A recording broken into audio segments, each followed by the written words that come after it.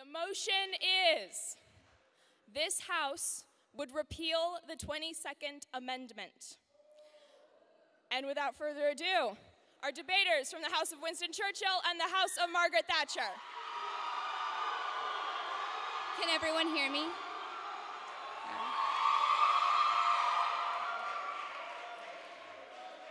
My name is Elle, and I'm going to be your Prime Minister in today's debate round.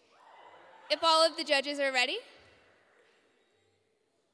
Well, in his Politics, Aristotle discusses six forms of government six true forms and six perverse ones. The true forms he calls monarchy, aristocracy, and equality.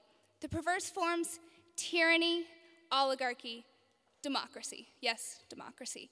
Now, what separates a perverse rule from a just one? Well, according to Aristotle, it was one thing the end to which the ruler or the number of rulers ruled. If, if the rulers ruled for their own purposes and their own good, they were called a perverse ruler. But if they ruled with an eye towards the common good, they were called just rulers. It is precisely because Audrey and I believe that we as Americans ought to shift our gaze to the quality of our rulers and not how long they lead us, that we believe that we ought to repeal the 22nd Amendment, or put specifically, this House would repeal the 22nd Amendment. Now, for the uninitiated, the 22nd Amendment was an amendment to the Constitution passed after FDR, Franklin Delano Roosevelt, served as president for four terms. The 22nd Amendment states that the president shall only serve for a maximum of two four year terms. That's eight years total for those of you who go to King's and don't do math like me. Today, I'd like to examine three things that warrant a repeal of the 22nd Amendment. I'd like to look at three things. First, checks matter more than time, circumstances matter more than numbers, and quality matters more than length. So let's look at checks and balances, everyone's favorite topic here at King's. Now, the founding fathers in, in, never intended to legally limit how long a president was able to hold office, but they obviously did intend to separate our powers. This is where they drew on thinkers such as Montesquieu and Polybius. Now, the restraint of power was not found in how long a member of Congress or the president ruled or presided over the country. We don't like the word ruled here in the US, I realize that it wasn't in how long they presided over the country, but instead in restraining their power in other measures. This happened with the checks of power that we, the balance of power that we see, of course, in the separation of powers between the legislature, the judiciary, and the executive office of the president. This also happened in decentralizing power and granting it to the states themselves. This was how the founding fathers decided, drawing on nations such as Britain, Rome, and Greece that one man would not hold all power, and that should he try to take all power, it would be his tyranny would be restrained. Now, if the leader was if the leader was effective and just, whether in America or in any other country, it holds that it's actually better to have him in office for a longer period of time. Otherwise, the, pas- the, passions of a democratic peoples might elect a new, more tyrannical ruler who could undo all the good that the previous leader had done. This was why the founding fathers did not immediately implement term limits. But there, but there are still checks that remain, that did remain, and that will remain after a repeal of the 22nd Amendment for those leaders who do become tyrannical. These checks of power include impeachment from Congress, which can happen when a president becomes corrupt or is not upholding the Constitution, and also in free elections. That's a unique feature of American governance that we still have today. It's not going to go away if we get rid of presidential term limits. Yes, sir. Do unjust leaders ever win at the ballot box? Well, Jonah, that's obviously a very subjective question. But if you look throughout American history,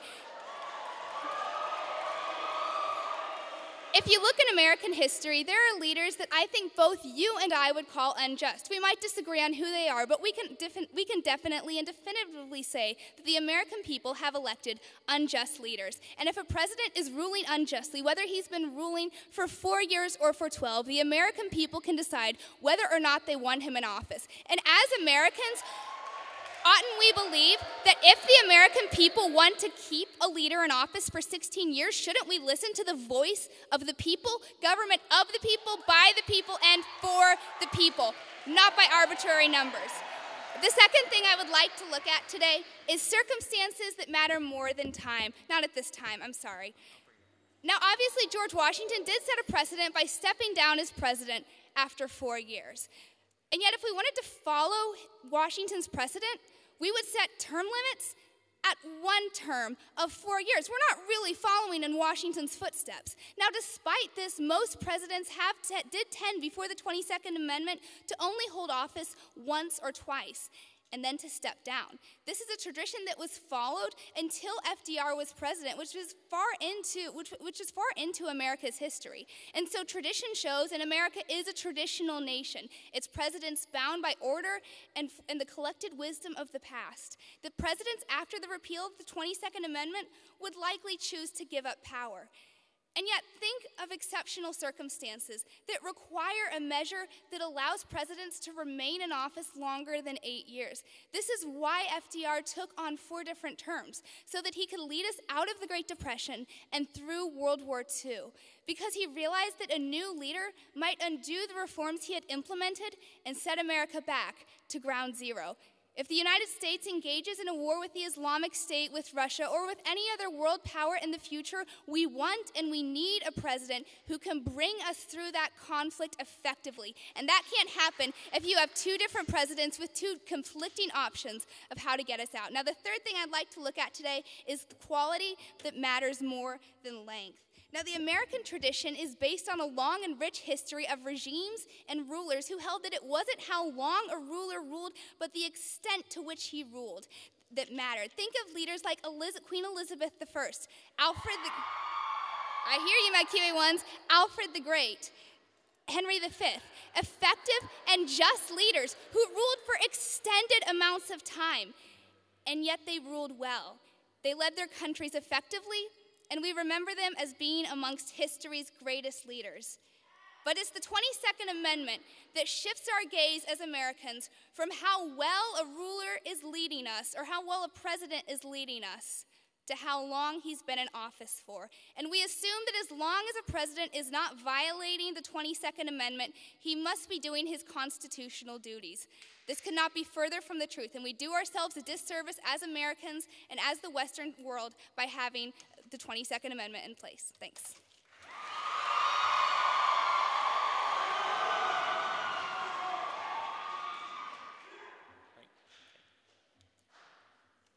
In this great republic of ours, while we may have democratic impulses, we recognize that we are a government of laws and not of men.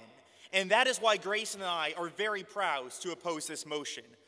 The, th- the problem with the side opposition, and this I'm going to get into this a bit more later, is that they only chose to look at a world where we have good leaders running for office. Grace and I want to engage with both scenarios. Why, when you have bad leaders, that's a reason why we should keep the Second Amendment, and why, even in the case where we have just leaders, we should also have the 22nd Amendment. So, with that in mind, I'm going to go into some rebuttal and then I'll present our overall points. So, uh, first off, we hear this point talking about why the founding fathers never intended for term limits. Uh, three responses against this. First is not in writing, sure, but in practice, they certainly did. We've never seen example of the founding fathers running for a third term in office. Why? Because they understood that power corrupted once they stood, uh, in power too long, that the America had to be more than just the ideas of one leader. Secondly, we also see history and circumstances have changed. The office of the presidency is dramatically bigger than it ever was when this was first created. So that's why we have to limit someone staying in power for too long. And third of all, actually, Washington ran for office for two terms, not one term. So I don't know what that was about. Let's look at the next thing, though. They then talk about the idea that if we have term limits, that that's subverting the will of the people, and that we should listen to the people's voice because that's how we know whether or not they're just or unjust, if the people say so. Here's a couple problems with that. First of which is, I think, it's a very simple. Sometimes the people are wrong. And it's interesting. It's interesting that uh, we hear about Aristotle because Aristotle, perhaps better than any other Greek political philosopher, talked about the very reason why he should curtail the power of the people and why democracy was a bad form of government, because the people can make bad decisions and we need to restrain them. Uh, we need to restrain the people in some cases, not at this time. So here's, uh, so, uh, here's the thing we want to like avoid the mistakes of where the people are sovereign, where the voice of the people is the voice of God. We don't want a democracy like the one we saw in the French Revolution. That's why there are many things we don't vote on. Like we do not vote on Supreme Court justices. It's not because we're not a democracy, it's because we realize that people would be ill suited for voting on that. Just in the same way, not this time, that people would not be well, uh, well suited for voting on a president who's been in office for many years. I'll talk about a bit more why that's true later. Then they give the example of Franklin Delano Roosevelt. But before I go on, go ahead, Audrey. So, Jonah, you're perfectly comfortable with the people electing a president for one term or for two terms. But in exceptional circumstances, why not continue to allow the voice of the people for a third? What's the difference between two? I, I, I love talking about those exceptional circumstances. Now here's the th- now here's the thing. With these exceptional circum- uh, circumstances, like the example Franklin Delano Roosevelt they presented. Now, I know all of you think that I want a world where FDR can run for as many terms as possible. I get that. But listen, here's the thing. The, when it gets right down to it, a time of crisis, an exceptional circumstance is the very time we want to curtail leaders from being in office too long. Why? Because that is the time when tyrannies rise. That is the time when government power increases. That's why the government increased more under FDR than any other president before him.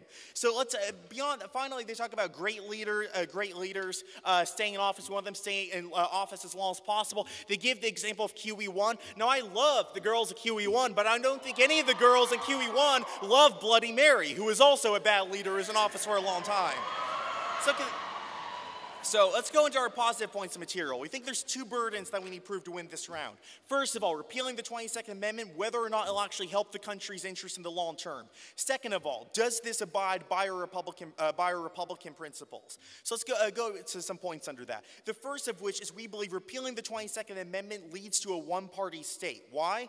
Government says, well, you'll have elections, the people will remain in power, but here uh, we'll rank to keep power in check. But here's the thing it's hard to break party dominance when the president president can run for a third term. Why? So our system has balance. After eight years, typically another party takes over unless you have a very exceptional candidate because of voter fatigue. But what happens uh, when you have presidents running for a third term? Well, if they run for a third term, typically they're very popular. That's what they got in that position in the first place to be, even be able to run for a third term.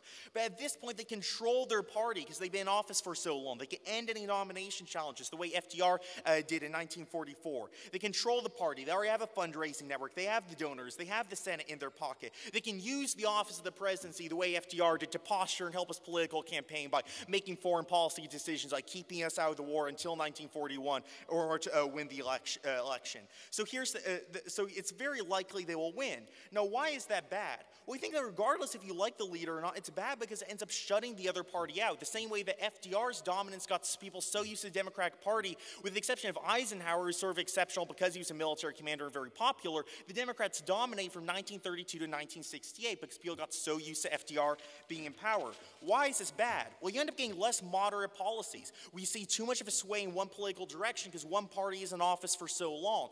Now, if these are bad radical policies, we think this is bad in of itself. But here's the thing you might say, well, what if it's a good leader? Well, remember this the leader might not be one whose policies you agree with. They may be just as much as they may be good policies, they could be radical policies. But regardless of what, uh, what party it is, we think the country's better off when you have moderation when we go back and forth and we settle on a mean that have just policies to include all people. Why do we want that? Well, look at the alternative. Look what happened with India for like 50 years, where the National Congress Party controlled their government and they shut out any political opposition because the, they were in office for so long. They could stack the courts, they could stack the political system. No other voices can enter the conversation. People who opposed National Congress Party were viewed as less uh, uh, Indian, less true to their uh, government, less true to their national identity. Their voices were uh, delegitimized. And I think, regardless of party affiliation, we want every voice to be able to be heard in this conversation and no party to be shut out.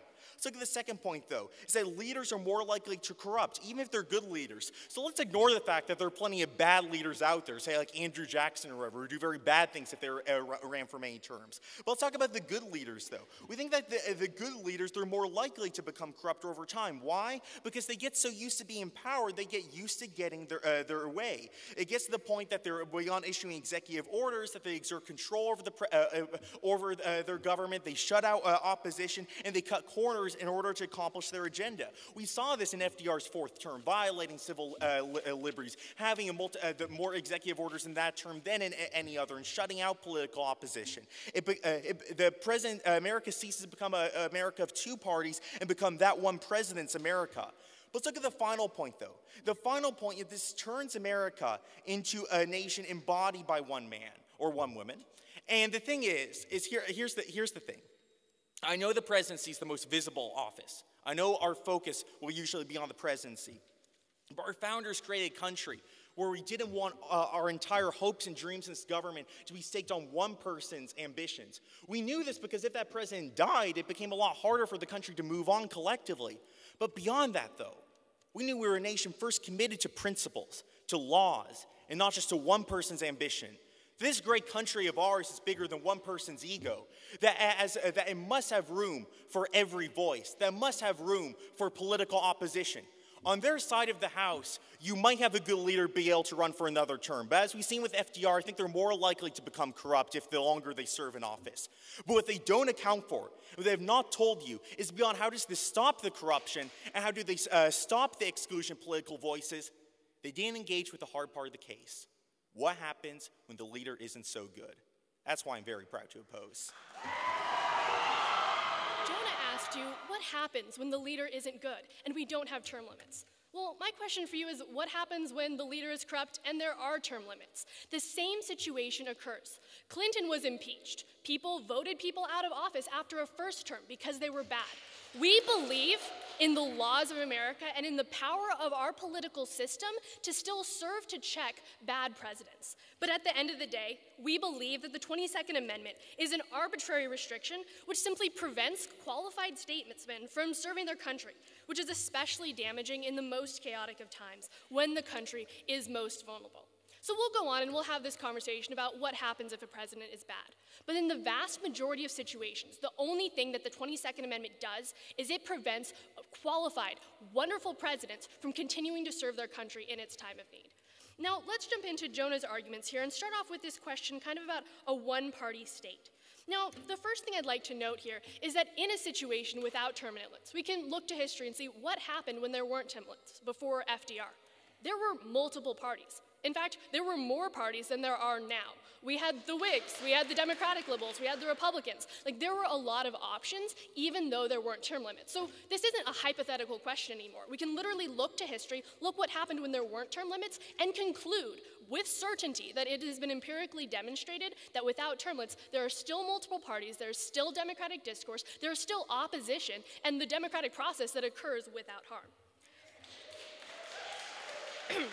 But secondly, uh, under this argument, Jonah also suggested that the single party will be able to hold control. But I would submit to you that we would have already seen that uh, if, this, if this argument were the case. So, one thing that's important to notice here is we're talking about America. We're talking about free elections. We're talking about a situation where throughout history, with term limits and without, we have seen presidents peacefully pass power to their successor, regardless of what party they originate from. Now, when we look, let's just look at one example. Let's talk about Ronald Reagan. Ronald Reagan, after his two terms, after his two terms, there was still another Republican who was elected. So, in a situation with term limits, we still saw that party, because they had done a great job with a great president, elect the subsequent leader.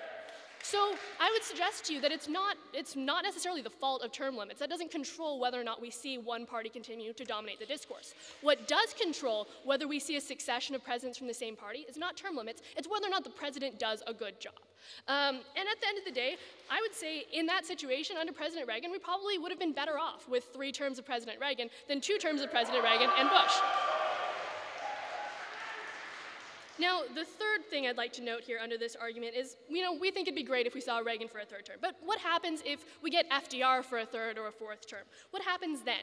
We all agree that he was corrupt and he probably shouldn't have continued to be in office. Well, the American people agreed. They voted him out of office, even though there weren't term limits. That's the point here. um, not right now. Okay, so the second point here is about just like bad press. Now let's move on to the second just suggestion that apart from the control of a single party, just what if there's a bad president? Well, I think I've already answered this with this argument about FDR. There are free elections still occur, people can still vote that president out of office. But secondly, corruption still occurs within term limits. That's just the fact of the matter. When we elect a president, we're putting faith in a leader. We're allowing them to be the face of America. That is true regardless of term limits or not. But we think that at the point where you're electing a leader, you're putting your faith in them, and we're allowing the people to choose again in four years, we should allow the people that choice. If we can trust them to elect a president now, we should allow them to elect a president in eight years or in 12 years.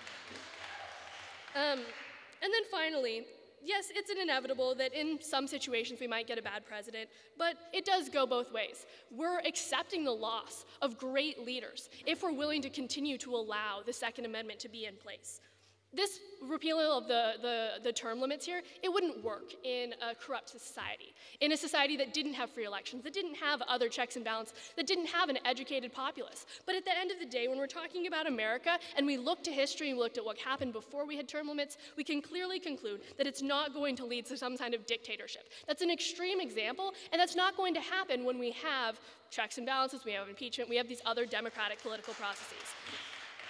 Now, shifting gears a little bit, I want to talk about the founding fathers and about the circumstances which have changed, because we do believe that they have changed. Yes, the founding fathers, in practice, they generally, you know, limited themselves to one or two terms. But first of all, they did that without term limits, and I think that would probably generally continue. But secondly, I think we should allow that option, that option to run for a third or fourth term if the circumstances demand it. Elle gave you some examples ISIS, Russian aggression. We've seen situations in the modern world, just with the threat of nuclear weapons, where the stakes are higher. The founding fathers didn't have that. They maybe didn't need it as much. But the fact of the matter is, we should preserve that option because in those exigent circumstances, we might need a good leader, a Reagan, to step up and continue the stability of his leadership for a third term.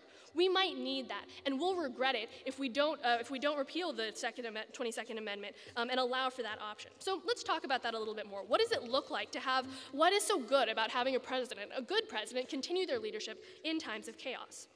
Well, first of all, they already have established connections, they already have established alliances, and that allows them to avoid gridlock and to preserve stability in a time of crisis. They also have established international relations. And the confidence that comes from those established relationships is key in a time of chaos. It's important to allow this option, to allow a president in a time of chaos when it's necessary, a good president, to allow the people to have the choice to elect them again. If people believe in the policies that that person has done for eight years, and they're looking at a situation where they say, wow, you know, we're facing international terror, we're facing foreign aggression, they've done a great job protecting us so far, and as we're on the brink of this war, it's important to allow that president to continue to do their work and continue those established relationships that already give us confidence that we're safe, the American people should have that right to choose to extend their presidency. And going along with this idea of just policy confidence and overall stability, the ultimate conclusion here is that it's up to the people. We believe in the right of the American people to choose their president. We believe in their right to choose them for four, for four years, for eight years. And me and Elle also believe that this is the same right that should apply for 12 years. At the end of the day, when we have these checks and balances, when we already have an established political system that punishes corruption through free elections, that punishes corruption through the impeachment process, and gives the voice of the people a right to be heard every four years, we believe that that process should be honored and should continue, especially when we're facing times of crisis and risk, and it is absolutely necessary to allow these great statesmen to continue, to continue to serve our country for a third term. Thank you.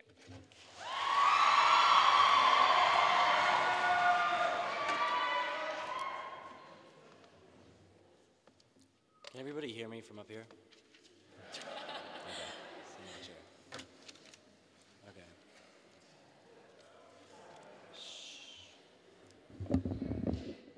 Hello. Okay.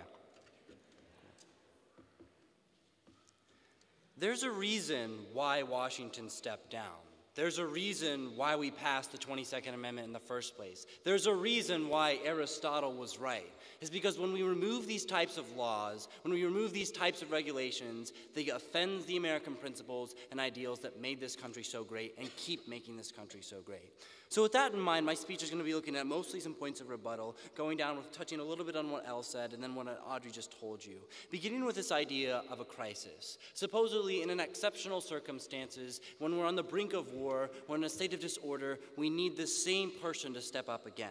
What they totally ignore is how does every dictator, almost every dictator in the history of the world, almost every authoritarian regime in the history of the, of the world, when do they come to power? They come to power in a state of crisis. So this is the very moment at which we need to hold to our principles the most. In a state of crisis, when we abandon principles, that's when the enemy has already won.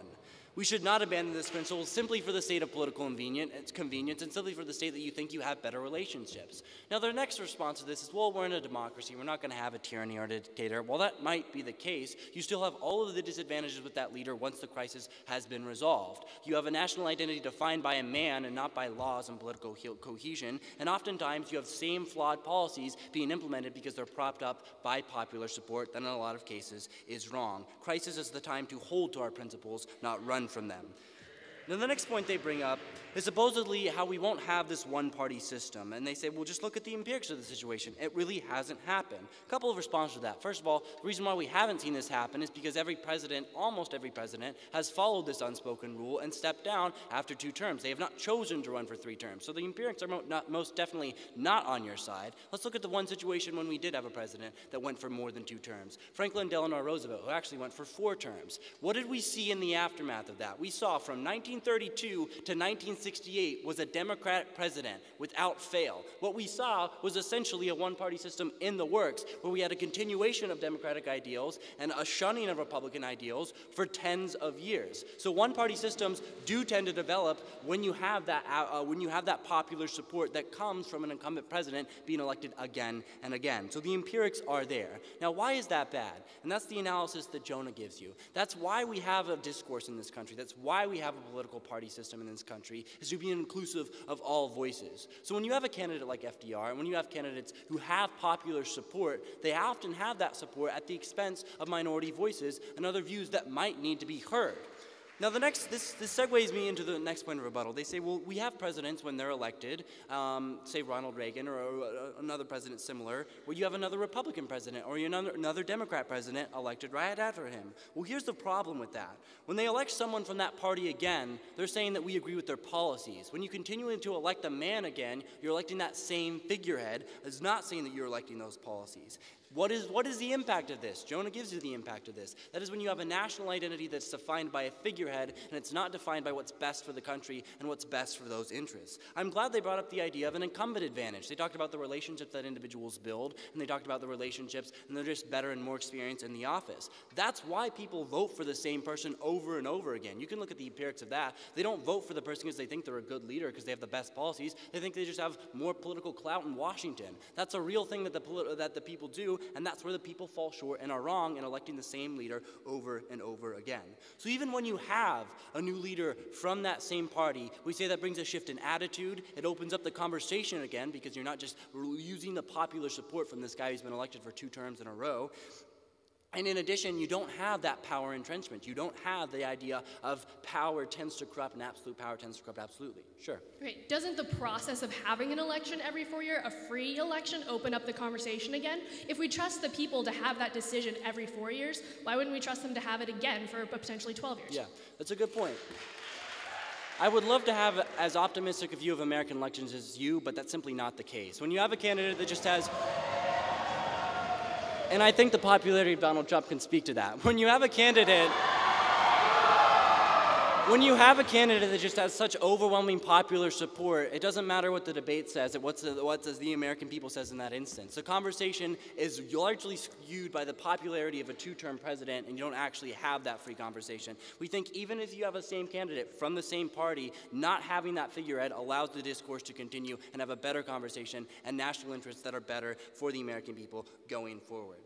Now, the next point I want to talk about here is why, uh, really addressing this larger issue here of why a great leader should not be allowed to continue to lead beyond two terms. The first point here is the idea of what is the attitude that they take. Now, I agree, we're not talking about an idea of democracy here or a tyranny. We do have checks and balances in this country, but what is the attitude of that leader, even when they're a great, great leader? When they've been in power for one term, two terms, three terms, four terms in the case of the FDR, and potentially five or six on their side of the House, what is the attitude that leader. What we see in the precedent is that they're willing to cut corners. They get entrenched, that they have the support of the people behind them. They think, okay, my policies are best, so it's okay to ignore some of the steps and checks and balances. We see this often with FDR and his super, well, a lot of really sketchy policies that he just kind of tried to get smashed through the Supreme Court, and a lot of those had effect for a short period of time. You have a lot of policies that were kind of sketchy when it came to civil liberties. So although it might not be the question of a dictator versus a democracy, the attitude of a candidate having that same person in power for four, five, six, potentially seven terms, that's bad and it leads to bad practices and precedents on the office. We want a country where we elect a president, not just a figurehead. We want, we want the, pres- the office of the presidency to lead our country, not just one man. And that's what Washington said. He wasn't just worried about the fact that you might have a king like over in England, he was worried about the fact that it was going to become the United States of George Washington, and that's not what he wanted.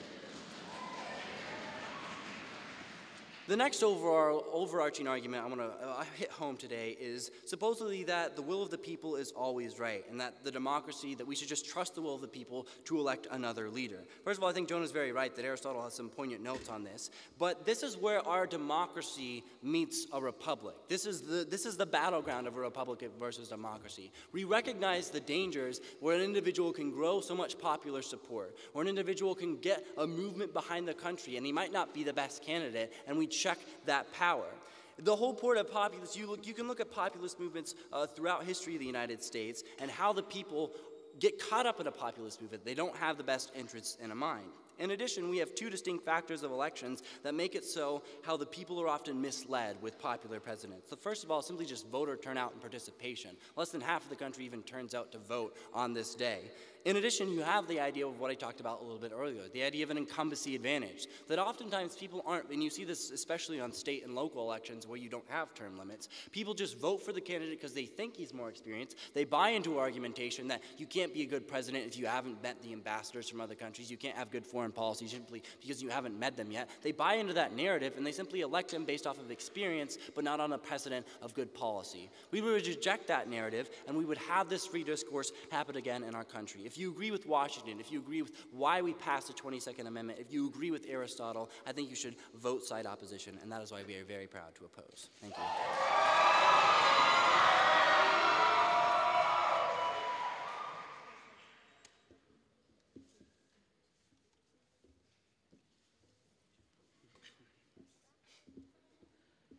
I'm thirsty, whatever.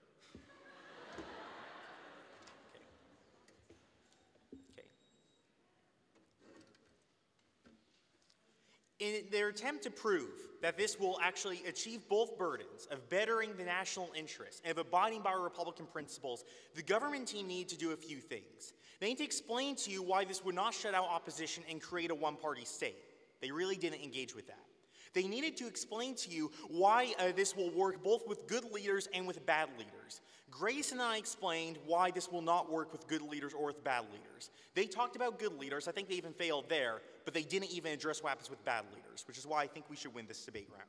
What I'm going to do is go over two main questions. The first question is Will this serve the national, uh, national interest? The second question Does this abide by Republican principles? So, under the first question, the government team suggested that, look, we're only going to be having leaders who have good and popular policies getting reelected. I think the answer is definitely no for the reasons Grace and I talked about. First of all, that when you're voting for the same party but a different candidate, that's how you can tell if they're voting for popular policies. But when they're voting for the same leader for a third term, all you can tell is that leader is able to consolidate power, control the political system, and that people like him as a personality. That does not mean they necessarily like him as, uh, for his policies. Secondly, though, secondly, this is important. They ignored how this drives out political op- uh, opposition. We see that uh, how Democrats were in power for two generations because the country got so used to Democrats controlling the, uh, controlling uh, the White House. So what ends up happening? When we have one party in power for so long. We get less moderate policies and more radical policies, and you shut out opposition. I brought up an example of India, an example they never touched on. How when you had one party in control of the country for 40 years, political opposition ceased to exist for that country for all intents and purposes on a national level. So what ended up happening? People who had different views were shut out. Their views were less legitimate. If you disagreed with the president, uh, uh, you were uh, less of a citizen. You were less uh, patriotic. We think that our country is at our best when you have an opposition party very often taking over after those eight years. A country where we are all Democrats and we are all federalists. A country uh, where we have factions to check the ambitions of the two parties and to balance out our political system rather than having one party's agenda for, uh, for eight years. Because even if you boys and Reagan love Ronald Reagan, let's face it, it might not be Reagan for eight years. It might be Obama for 14, uh, not 14, 16, right? That, so you just got, uh, got to bear in mind it could be someone you disagree with. The third point under this is dealing with a time of crisis. Now, uh, now, as Grayson said, that in a time of crisis, we can't just rely on one person. We have to rely on the fact that other leaders will step up. And they ignored the fact, this is a very important point, that in times of crisis is the very time when we need new leaders the most rather than one leader, because that's the time that le- tyranny rises and that government consolidates power. You saw, saw that empirically when FDR consolidated power uh, uh, after uh, being in office for so long. Government says that we can uh, avoid this by restricting the system, through, uh, by restricting these leaders through checks and balances. But two things on this. First of all, they ignore that these, this 22nd Amendment is one of those checks and balances, and they're getting rid of it. The second point under this is that uh, what ends up happening is they ignore our analysis that when leaders are in power for so long, they consolidate control so they can overcome those checks and balances. They pack the courts, they redistrict, they get people used to being one party in power, so it gets to a point that no party can enter an opposition, just like we saw in India for 40 years. Government says, well, some, uh, some of these problems might be true of someone in office just for one term. And sure, they might be right. This, some of these problems might be uh, true for just someone in one term. But that does not change the fact that they exacerbate those same exact problems on their side of the house. Just because those problems might be true to some extent with Grayson and I scenario does not uh, change the fact that we explained how they're exponentially worse on their side of the house. That does not deal with their analysis. So even in their best case scenario, when it's not a bad leader, it's still uh, you're still having a situation where opposition is driven out. You're still having a situation where you don't have political moderation. We address the best case scenario of why this is bad with a good leader even in office. They never explain to you why it's bad with a bad leader in office. Let's go to the second question. Does this abide by Republican principles? Now, they say that this is giving the people a, vo- a voice, but here's the problem with that. The problem with that, first of all, is often people just, this isn't a really reflection of people's voice on policy, just the popularity of the president in power, they're used to him being in power, and he has undue advantages over controlling the office for eight years. Second of all, people are often wrong. Uh, we saw that Aristotle, their own source they've been talking about, uh, agrees with us that people's whims must be limited. Now, why do we see this case? They claim that we want to support the, uh, uh, we want to support the people's voice. I won't be able to take your point. Uh, we won't be uh, that, that we that we want to support the people's voice. But here's the thing. The thing, uh, the thing is, there are plenty of things we don't give the people a voice on. We don't elect judges. We don't elect cabinet posts. Uh, constitutional amendments, they're not by popular. Uh, referendum. Why? Because people are often wrong. So if the government, it's not enough for the government to come up here and say, give people a voice. They need to show you why they need a voice on this specific issue. They did not also explain how a one party state is compatible with our Republican systems. They did not explain why the office of the presidency should be about one per, uh, person rather than our country should be about broader principles. I mean, here's the thing the world of the government team, and we've taken them at their best case, but let's be real here for a moment. The world of the government team is a world where Caesar did not cross the Rubicon, where Napoleon did not go into the French council chambers and become emperor, where Hitler did not seize the Reichstag, the world of the uh, government team is idealistic and it's optimistic, and I admire that. But we know that our laws do not exist for people being angels. We know our laws exist because men are not angels, that they must be limited, that we must check ambition with counter ambition, check one party with another party. That's how you balance our system. That's how you protect our laws. You don't get that on their side of the house. You don't get a republic. You get a government of men and not of laws. And that is why I am very proud to oppose. Thank you.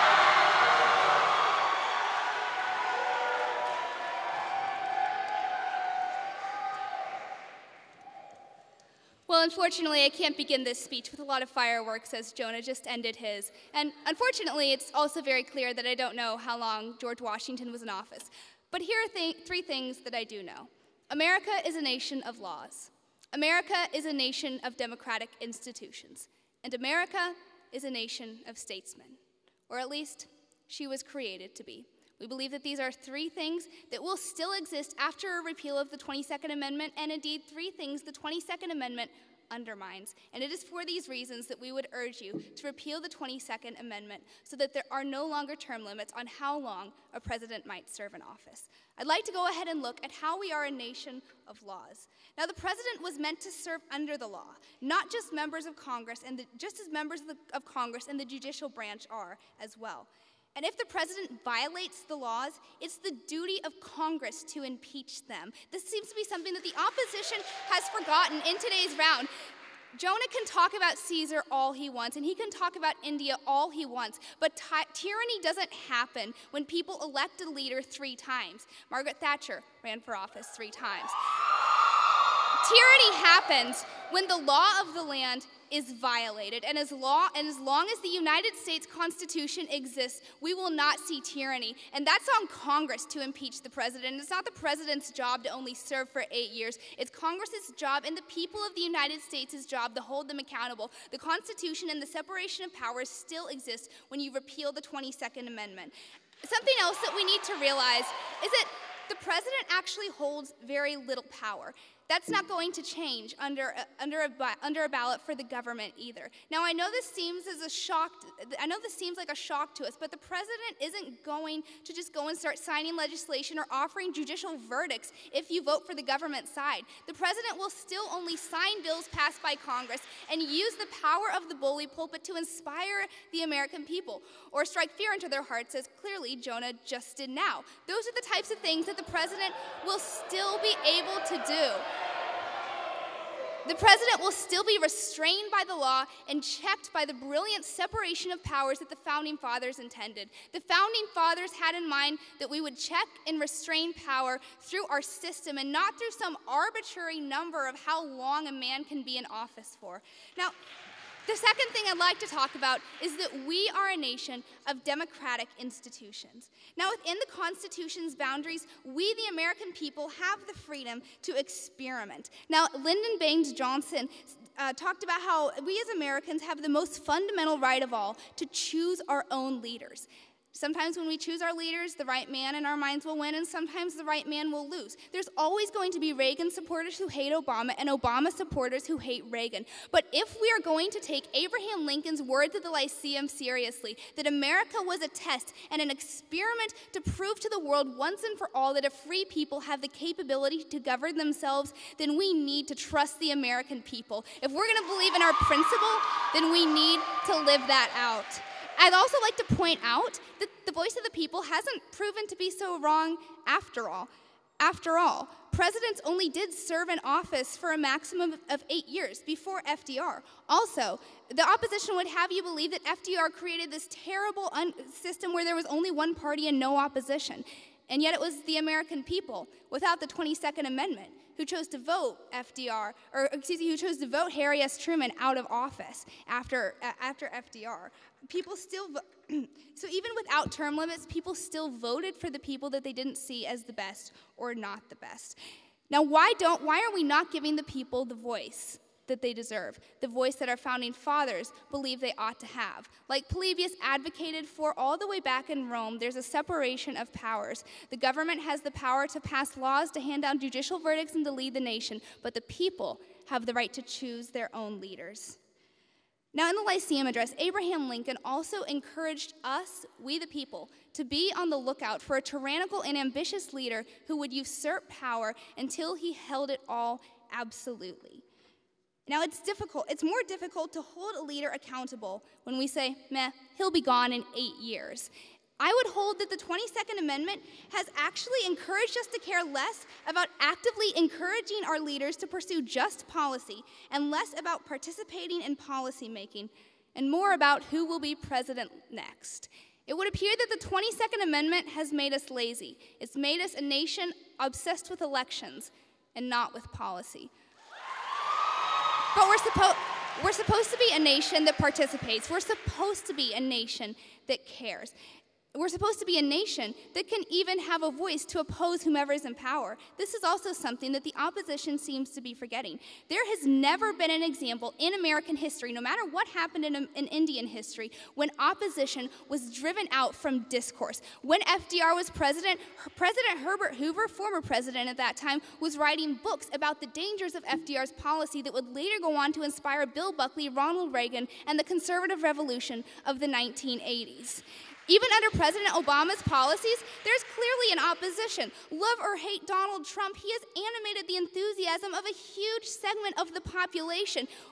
You, the, the, opposition can't point to a time, a single time in American history, when we've seen this hyperbolic one party system or one party world. And I would urge you to stand in reality with the government and not in hyperbole with the opposition. Finally, we are a nation of states. Finally, we are a nation of statesmen.